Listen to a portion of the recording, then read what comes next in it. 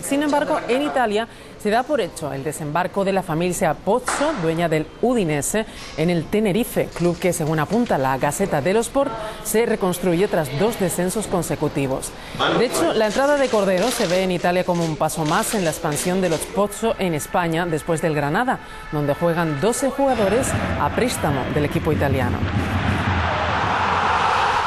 Y el